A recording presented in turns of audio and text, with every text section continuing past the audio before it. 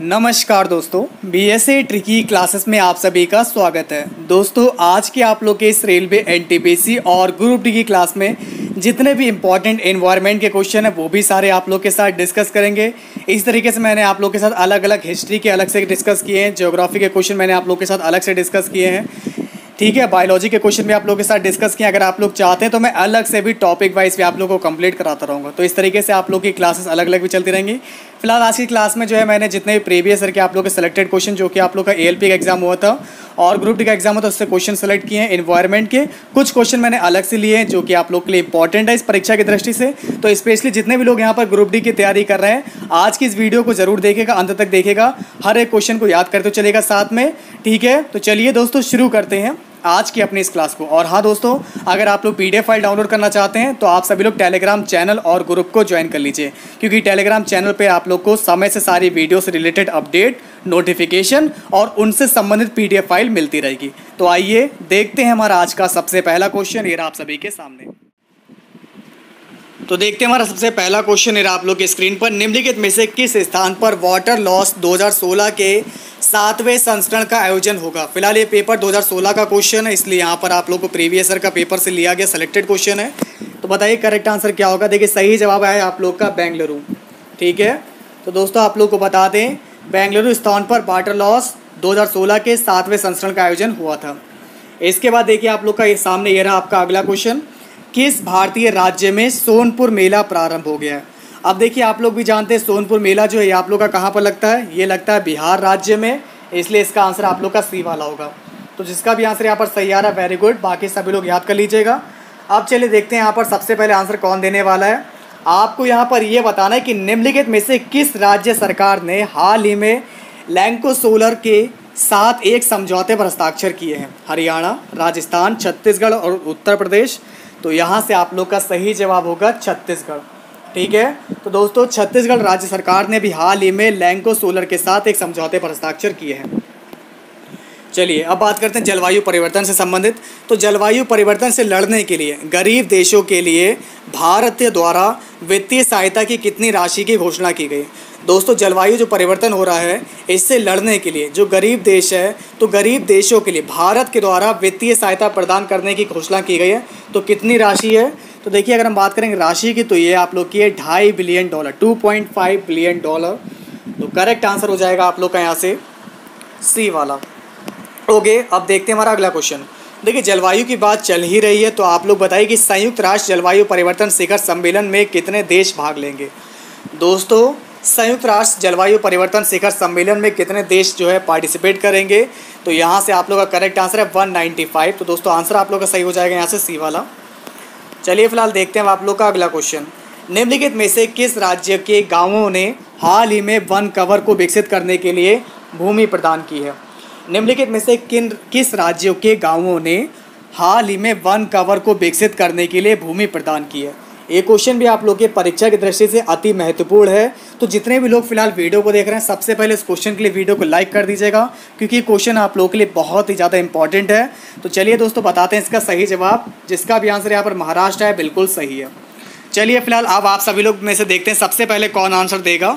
देखिए, हाल ही में भारत के अतिरिक्त निम्नलिखित में से किस देश ने चेन्नई बाढ़ पीड़ितों के लिए सहायता पैकेज का योगदान दिया है?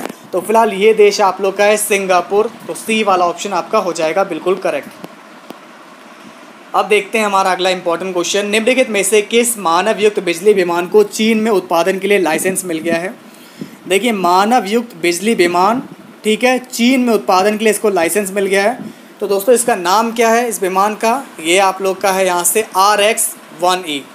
तो बी वाला आंसर आप लोग का होगा, बिल्कुल करेक्ट इसके बाद देखते हैं हमारा अगला इंपॉर्टेंट क्वेश्चन अफ्रीकी उद्धार यानी कि रेस्टोरेशन पहल योजना, परियोजना का उद्देश्य क्या है? देखिए दोस्तों, अफ्रीकी उद्धार यानी कि रेस्टोरेशन पहल परियोजना का उद्देश्य क्या है? अफ्रीकी प्रजातियों का पुनर्वास ऑप्शन बी वन पुनर्वृद्धि का पोषण ऑप्शन सी है कला और संस्कृति की पुनर्स्थापना ऑप्शन डी दे रखा है आर्थिक विकास को बढ़ावा देना। तो आइए जानते हैं फ़िलहाल सही जवाब है इसका, वन पुनर्वृद्धि का पोषण। हम लोग इन्वायरमेंट पढ़ रहे हैं तो ये क्वेश्चन भी आप लोग का इन्वायरमेंट से रिलेटेड ही है। तो देखिए रेस्टोरेशन पहल परियोजना का जो मतलब है, इसका उद्देश्य है, जो इसका एम है, वो है वन पुनर्वृद्धि का पोषण। इसके बाद देखते हैं हमारा अगला इंपॉर्टेंट क्वेश्चन अगर हम बात करें भारत की तो भारत ने भी हाल ही में कितने पारिस्थितिक वेदशालाओं को स्थापित करने की योजना बनाई है? आठ, नौ, दस, सत्रह। तो यहाँ से आप लोग का आंसर आएगा आठ। ठीक है? वेरी गुड क्लास अब देखते हैं आप लोग का अगला क्वेश्चन अब आप सभी को यहाँ पर ये बताना निम्नलिखित व्यक्तियों में से किसने नई दिल्ली में उमंग 2015 का शुभारंभ किया? देखिए, उमंग 2015 की बात करेंगे तो यहाँ पर इसका शुभारंभ किसने किया है? तो बताइए दोस्तों, इसका सही जवाब क्या होगा? किसने इसके जो है शुभारंभ किया है? तो करेक्ट आंसर है आप लोग का प्रणब मुखर्जी। ओके, फ़िलहाल देखते हैं अब आप लोग का नेक्स्ट क्वेश्चन पेरिस शिखर सम्मेलन की अगर हम बात करें तो इसके दौरान कितने देशों ने जलवायु कारों पर U N F C C C का उनका आईएनडीसी प्रस्तुत किया है। तो देखिए, कितने देश हैं यहाँ पर? एक सौ अट्ठासी, एक सौ चौरानवे, एक सौ नवासी या फिर एक सौ इक्यानवे। तो यहाँ से आप लोग का करेक्ट आंसर आएगा वन एट नाइन तो पेरिस शिखर सम्मेलन के दौरान टोटल एक सौ नवासी देशों ने जलवायु कार्यों पर U N F triple C को उनका आईएनडीसी प्रस्तुत किया है। ठीक है? इसके बाद देखिए, हम लोग बात करते हैं यहाँ पर अगला इंपॉर्टेंट क्वेश्चन ये रहा आप सभी के सामने। निम्नलिखित में से किसने अभी हाल ही में भारत में अपनी प्रथम सौर ऊर्जा परियोजना जीती है। तो बताइए दोस्तों, सौर ऊर्जा परियोजना किसने जीती है? तो ये जीती है सॉफ्ट बैंक ने। तो डी वाला ऑप्शन आप लोग का बिल्कुल हो जाएगा सही। इसके बाद चलते हैं आप लोग के अगले प्रश्न पर। निम्नलिखित में से किस कंपनी ने राष्ट्रीय ऊर्जा संरक्षण पुरस्कार 2015 जीता है? राष्ट्रीय ऊर्जा संरक्षण पुरस्कार 2015 जीता है तो ये आप लोग का है। इस कंपनी का नाम है हेरिटेज फूड्स तो यहाँ से आप लोग का करेक्ट आंसर होगा, यहाँ से ए वाला। तो हेरिटेज फूड्स ने जो है आइस इस कंपनी ने जो है, वो आप लोग के राष्ट्रीय ऊर्जा संरक्षण पुरस्कार 2015 को जीता है। इसके बाद चलते हैं हम लोग अगले क्वेश्चन तरफ़। ग्लोबल वाइल्ड टाइगर्स के रिपोर्ट के मुताबिक, भारत के किस राज्य में सर्वाधिक बाघ हैं? अब बताना सबसे ज़्यादा बाघ जो है, ये किस राज्य में है? तो फ़िलहाल ये कर्नाटक में पाए जाते हैं सबसे ज़्यादा। तो इसके अकॉर्डिंग आप लोग का आंसर हो जाएगा यहाँ से सी वाला, बिल्कुल करेक्ट तो ग्लोबल वाइल्ड टाइगर्स की रिपोर्ट सबसे पहले तो आपको ये पता होना चाहिए कि रिपोर्ट का नाम क्या है। ये रिपोर्ट है ग्लोबल वाइल्ड टाइगर्स इस रिपोर्ट के मुताबिक भारत के कर्नाटक राज्य में जो है सर्वाधिक बाघ पाए जाते हैं। इसके बाद देखते हैं आप, आपका अगला प्रश्न। विश्व का पहला डेंगू टीकाकरण कार्यक्रम 4 अप्रैल 2016 को किस देश में शुरू किया गया? देखिए दुनिया का पहला डेंगू टीकाकरण कार्यक्रम इसकी शुरुआत की गई थी 4 अप्रैल 2016 को। किस देश से इसकी स्टार्टिंग की गई आपको यहाँ पर यह बताना है। बिल्कुल सही जवाब है करेक्ट आंसर होगा आप लोग का फिलीपींस इसकी शुरुआत की गई फिलीपींस से। ओके फ्रेंड्स अब देखते हैं आप लोग का अगला क्वेश्चन देखिए, तीन अप्रैल 2016 को वन एवं पर्यावरण केंद्रीय मंत्री प्रकाश जावड़ेकर ने किस राज्य में विश्व की पहली वाइट टाइगर सफारी का उद्घाटन किया? देखिए, मैं करंट अफेयर की भी क्वेश्चन आप लोग के साथ अलग से डिस्कस करेंगे, लेकिन ये कुछ आप लोग के लिए इन्वायरमेंट के इंपॉर्टेंट क्वेश्चन इनको याद ज़रूर कर लीजिएगा. जितने भी लोग वीडियो को देख रहे हैं जो भी यहाँ पर ग्रुप डी की तैयारी कर रहे हैं और एनटीपीसी की, खास तौर पर अगर आप लोग रेलवे के एग्ज़ाम को क्रैक करना चाहते हैं तो इस वीडियो को ज़रूर देखते रहिएगा। जितनी भी मैं सीरीज़ आप लोग को प्रोवाइड कराने वाला हूँ, उससे रिलेटेड सारी वीडियो याद कर लीजिएगा, जो भी क्वेश्चन आपको प्रोवाइड कराए जाएँगे। और हाँ पी फ़ाइल डाउनलोड करने के लिए आप लोग टेलीग्राम चैनल को ज्वाइन अवश्य करिएगा ठीक है, ताकि आप लोग को क्लास से रिलेटेड नोटिफिकेशन मिलते रहें। जिन लोगों को नोटिफिकेशन रिलेटेड प्रॉब्लम आती है तो स्पेशली आप सभी लोग टेलीग्राम चैनल को ज्वाइन करिएगा। देखिए, सही जवाब क्या होगा? फ़िलहाल हम बात कर रहे थे तीन अप्रैल 2016 की। तो इसमें जो है वन एवं पर्यावरण केंद्रीय मंत्री, जिनका नाम है प्रकाश जावड़ेकर तो इन्होंने जो है किस राज्य में विश्व की पहली वाइट टाइगर सफारी का उद्घाटन किया? तो ये राज्य आप लोग का फ़िलहाल है मध्य प्रदेश। तो यहाँ से आप सभी का आंसर डी वाला बिल्कुल सही हो जाएगा। इसके बाद देखिए, हमारा अगला क्वेश्चन यहाँ पर देखिए, आपको क्या दिया गया है? वैज्ञानिकों के एक समूह ने दक्षिणी पश्चिमी घाट पर रेत खाने वाले किस जानवर की प्रजाति को खोज लिया है? दोस्तों, रेत खाने वाला ऐसा कौन सी प्रजाति जो मिली है यहाँ पर? ये आपको बताएँ टेडपोल मेंढक किंग कोबरा सी है डॉल्फिन और डी है, आप लोग का सी लॉयन तो बताइए इन चारों ऑप्शन में से आप सभी को यहाँ पर यह बताना है कि दक्षिणी पश्चिमी घाट पर रेत खाने वाला वो कौन सा सा जानवर है, कौन सी प्रजाति जिसकी खोज की है अभी वैज्ञानिकों ने एक ग्रुप ने। तो सही जवाब है आप लोग का टेडपोल मेंढक। तो दोस्तों, वैज्ञानिकों के एक समूह ने दक्षिणी पश्चिमी घाट पर, कहाँ पर? दक्षिणी पश्चिमी घाट पर रेत खाने वाले टेडपोल मेंढक की प्रजाति को खोजा है। इसके बाद देखते हैं आप लोग का अगला क्वेश्चन 27 मार्च 2016 को किस राज्य की सरकार ने भारत का पहला जैव कृषि विश्वविद्यालय स्थापित करने का निर्णय लिया? क्वेश्चन बहुत इंपॉर्टेंट है. ये आप लोग का है जैव कृषि विश्वविद्यालय. ठीक है, भारत का पहला है, इसलिए और भी ज़्यादा इंपॉर्टेंट है. स्थापित करने का निर्णय लिया है किस राज्य सरकार ने? राज्य बताना, राज्य आप लोग का है फ़िलहाल गुजरात. ठीक है, कब लिया गया निर्णय ये? ये निर्णय लिया गया था सत्ताईस मार्च 2016 को तो ये डेट भी आप लोग याद रखिएगा स्पेशली अब देखते हैं आप लोग का अगला प्रश्न, आप लोग की स्क्रीन पर। संयुक्त राष्ट्र की रिपोर्ट के मुताबिक अक्षय ऊर्जा के क्षेत्र में 2015 में भारत और चीन ने भारी निवेश किया है। इस रिपोर्ट का नाम क्या है, आप सभी को यहाँ पर ये बताना है। तो बताइए दोस्तों, देखते हैं आप लोगों में से सबसे पहले आंसर किसका आता है। देखिए, सही जवाब है आप लोग का global trends in energy investment 2016 तो यहाँ से जिसका भी आंसर बी आ रहा बिल्कुल सही है। Global trends in energy in investment 2016 ठीक है? तो दोस्तों, इसकी रिपोर्ट के मुताबिक अक्षय ऊर्जा के क्षेत्र में 2015 में भारत और चीन ने भारी निवेश किया है। ठीक है? रिपोर्ट का नाम ध्यान रखिएगा यह है फ़िलहाल global trends and energy investment 2016 इसके बाद देखते हैं हमारा अगला इंपॉर्टेंट क्वेश्चन देखिए, अब आप सभी को यहाँ पर ये बताना है कि विश्व मौसम विज्ञान दिवस, यानी कि डब्ल्यू एम डी मार्च महीने के किस तारीख को मनाया जाता है? मौसम विज्ञान दिवस ये कब मनाया जाता है? इंपॉर्टेंट क्वेश्चन है, रट लीजिएगा। करेक्ट आंसर है तेईस मार्च। सही जवाब है तेईस मार्च। तो जिसका भी तेईस मार्च आंसर आ रहा है, ये बिल्कुल सही है। ओके गाइज़ अब देखते हैं आप लोग का अगला क्वेश्चन आप सभी को यहाँ पर ये बताना है कि विश्व वानिकी दिवस। दोस्तों, यहाँ पर आप सभी ये बताइए कि विश्व वानिकी दिवस मार्च महीने की किस दिनांक को मनाया जाता है? तो याद कर लीजिए दोस्तों विश्व वानिकी दिवस ये आप लोग का इक्कीस मार्च को मनाया जाता है। और इससे पहले मैंने आपको बताया, तेईस मार्च तेईस मार्च को मौसम विज्ञान दिवस मनाया जाता है। तो दोस्तों, तेईस मार्च को आप लोग का मौसम विज्ञान दिवस और आप लोग को दे रखा है यहाँ पर वानिकी दिवस। ये फ़िलहाल आप लोग का इक्कीस मार्च को मनाया जाता है। साथ में याद करेंगे तो कन्फ्यूज़न नहीं होगा। इसके बाद देखते हैं आप लोग का अगला क्वेश्चन आप लोग के स्क्रीन पर। अब बात करते हैं अंतर्राष्ट्रीय स्तर पर विश्व गौरैया दिवस। जैसा कि मैंने आप लोग को बताया था, ये मनाया जाता है बीस मार्च दो हज़ार सोलह को मनाया गया है। तो इस वर्ष इसकी थीम क्या देखिए 2016 की बात कर रहे हैं तो 2016 में विश्व गौरैया दिवस की थीम क्या थी? तो फ़िलहाल इसकी थीम थी गौरैया की वृद्धि एक की शक्ति को पहचाने। गौरैया की वृद्धि एक की शक्ति को पहचाने, ये है। तो फ़िलहाल दोस्तों, आप सभी लोग ध्यान रखिएगा, गौरैया की वृद्धि एक की शक्ति को पहचाने। इसके बाद देखिए, आप सभी को यहाँ पर यह बताने कि केंद्र सरकार ने प्रदूषण क्षमता के आधार पर उद्योगों को कितने रंग की योजना में फिर से वर्गीकृत किया है? पाँच, चार, तीन या फिर दो। आप सभी को यहाँ पर यह बताना है कि केंद्र सरकार ने प्रदूषण क्षमता के आधार पर उद्योगों को कितने रंग की योजना में फिर से वर्गीकृत किया है तो सही जवाब होगा आपका करेक्ट आंसर यहाँ से चार वर्गों में। इसके बाद देखते हैं आप लोग का नेक्स्ट क्वेश्चन देखिए, सरकार ने शिकारी पक्षियों के संरक्षण संबंधी सहमति ज्ञापन पर सात मार्च 2016 को हस्ताक्षर किए। यह हस्ताक्षर कहाँ पर किए गए हैं? ये आप लोग को बताना। देखिए, ये जो हस्ताक्षर किए गए फ़िलहाल आबू धाबी में किए गए थे।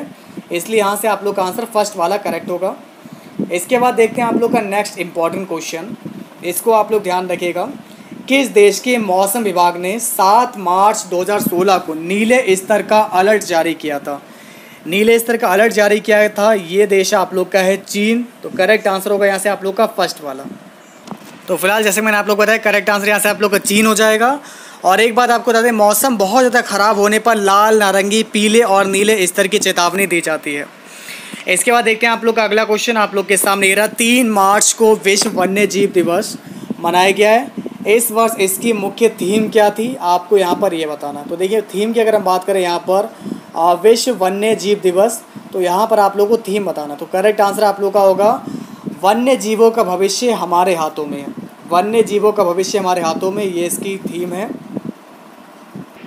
तो दोस्तों, ये क्वेश्चन तो आप लोग का पहले का, लेकिन अगर आप लोग एग्ज़ाम में इस बार क्वेश्चन आएगा तो वैसे तो आप लोग जानते हैं कि तीन मार्च को जो है, विश्व वन्य जीव दिवस मनाया जाता है। तो 2019 की थीम क्या होगी, ये आप लोग को बताना देखिए 2019 की जो आप लोग की थीम है, ये है life below water life below water for people and planet ठीक है? Life below water for people and planet तो करेक्ट आंसर यहाँ से आप लोग का ये होगा। फ़िलहाल इसका आंसर तो आप लोग का यहाँ पर ये है। लेकिन दोस्तों, अगर आप लोग का इस बार क्वेश्चन आपके एग्ज़ाम में आ जाएगा कि तीन मार्च को जो है विश्व वन्य जीव दिवस के रूप में मनाया गया है। इस बार की थीम क्या है? तो इस बार की जो थीम है वो आप लोग याद कर लीजिए नोट कर लीजिए कॉपी पेन लेकर। देखिए life below water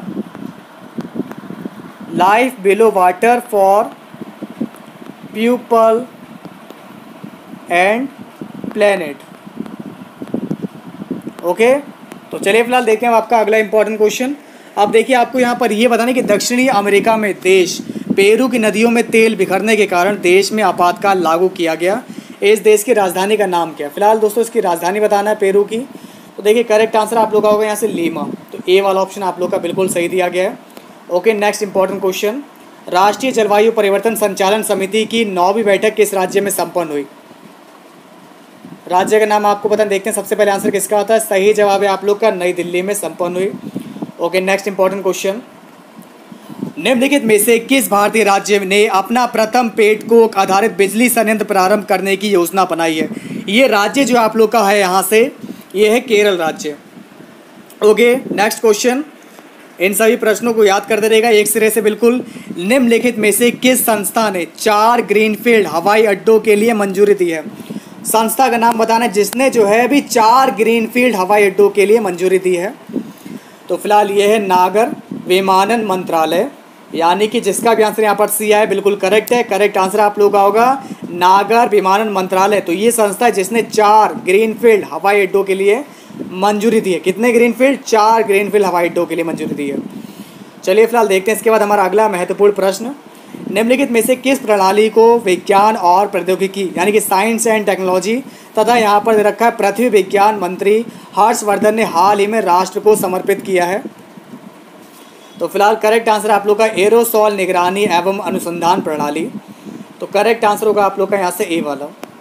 ओके अब देखते हैं हमारा अगला इंपॉर्टेंट क्वेश्चन यहाँ पर क्या दिया गया? वैज्ञानिकों के एक दल ने भारत चीन सीमा पर चिड़िया की एक नई प्रजाति की खोज की है।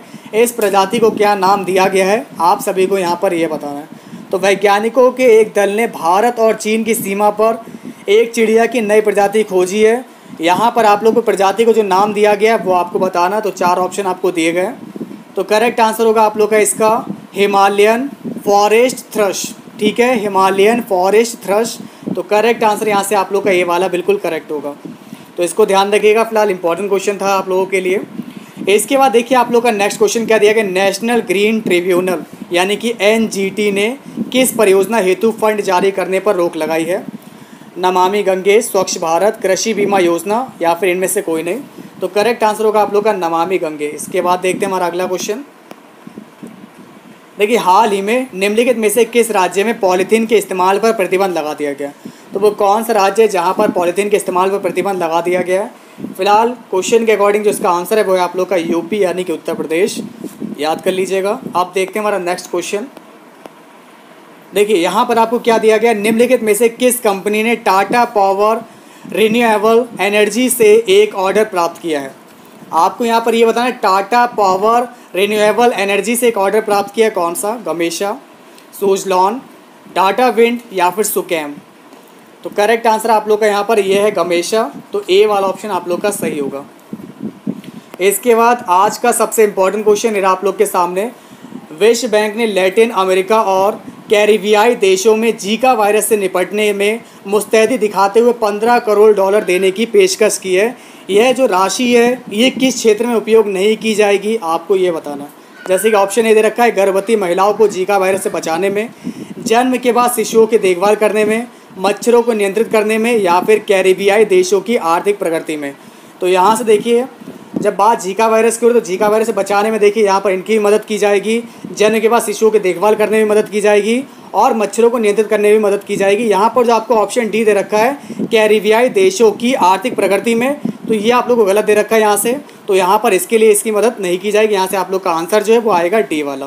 तो किस क्षेत्र में उपयोग नहीं की जाएगी? तो ये डी वाला दिया गया, इसमें उपयोग नहीं की जाएगी। इसके बाद देखिए आप लोग का अगला क्वेश्चन यहाँ पर क्या दिया गया? गंगा नदी को स्वच्छ बनाने के लिए आठ केंद्रीय मंत्रालयों ने एक संयुक्त सहमति पत्र यानी कि एमओयू पर 30 जनवरी 2016 को हस्ताक्षर किए हैं। इनमें से कौन सा मंत्रालय शामिल नहीं है? अब आपको यहाँ पर ये बताना है। देखिए, आठ केंद्रीय मंत्रालय दिए गए अब इनमें चार ऑप्शन आपको देंगे इनमें से कौन सा मंत्रालय शामिल नहीं है? इसका जवाब आपको बताना है। तो ए आएगा बी आएगा सी आएगा, फिर डी आएगा। तो यहाँ से करेक्ट आंसर आप लोग का हो जाएगा उर्वरक एवं रसायन मंत्रालय। तो फ़र्स्ट वाला ऑप्शन आप लोग का सही है। ठीक है? तो फ़िलहाल ये था दोस्तों आज का आप लोग का अंतिम प्रश्न। उम्मीद करता हूँ आप लोग को पसंद आई होगी आज की वीडियो आज की क्लास में सिर्फ़ इतना ही रखते हैं। फिर मिलते हैं इसी तरीके से कुछ और इंपॉर्टेंट क्वेश्चन के साथ। बने रहिए आप लोग अपने चैनल बी एस की क्लासेस में। और अगर आप लोग पीडीएफ फ़ाइल डाउनलोड करना चाहते हैं तो आप सभी लोग टेलीग्राम चैनल और ग्रुप को ज्वाइन कर लीजिएगा। वहाँ पर आप सभी को समय से सारी क्लासेस के नोटिफिकेशन और उनसे रिलेटेड पीडीएफ फाइल्स मिलती रहती हैं। तो फ़िलहाल अभी सिर्फ़ इतना ही रखते हैं, फिर मिलते हैं आप लोग की अगली इंपॉर्टेंट क्लास में। तब तक के लिए दोस्तों, नमस्कार।